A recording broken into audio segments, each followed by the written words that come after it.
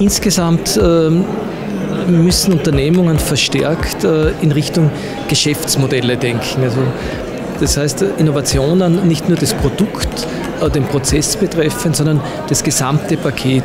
Das heißt, man muss, glaube ich, nachdenken verstärkt über ähm, nicht nur die Produkt-Markt-Beziehung, sondern auch, wie schaut die Ertragsmechanik aus, wie kann man damit Geld verdienen. Also dieser klassische ursprüngliche Weg, ich fertige ein Produkt und verkaufe es auf einem Markt, das funktioniert meines Erachtens in Zukunft immer weniger.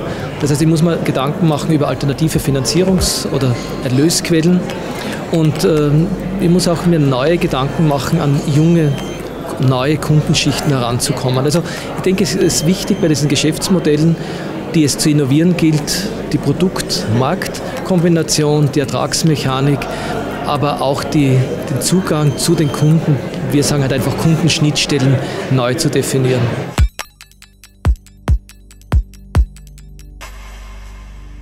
Ja, ganz eine Reihe von so quasi virtuellen Instrumenten. Und im klassischen Bereich selbstverständlich äh, wird es notwendig sein, auch die Ideen der Mitarbeiter äh, abzuholen. Und dazu gehören natürlich jetzt äh, Instrumente, die man kennt, betriebliches Vorschlagswesen, kontinuierliche Verbesserungsprozesse, vielleicht auch unternehmensinterne ähm, Wettbewerbe durchzuführen.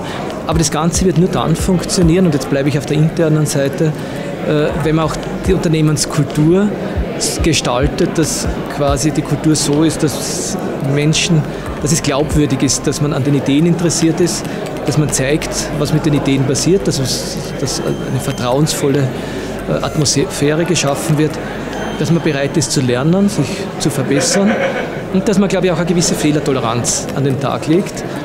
Weil Sie wissen ja, wenn man innoviert, wenn man in Richtung neuer Ideen, neuer, in Richtung neuer Wege geht, dann passieren auch viele Fehler. Geht's der Wirtschaft gut, geht's uns allen gut.